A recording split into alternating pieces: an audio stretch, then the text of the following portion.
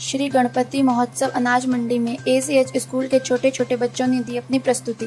दिनांक सात सितंबर को अनाज मंडी में चल रहे गणपति महोत्सव में एजीएस स्कूल के छोटे छोटे बच्चों का आना हुआ। सभी बच्चों ने गणपति जी को भजनों पर अपनी प्रस्तुति दी।